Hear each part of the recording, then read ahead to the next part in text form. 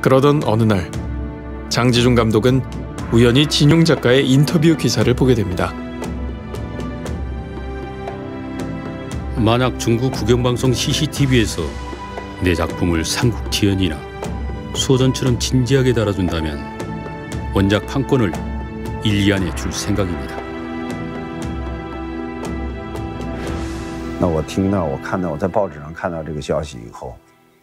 我很开心的，我就以我们的写了一封信给他，呃，这封信写给他，他马上就用传真的方式给我们传回来。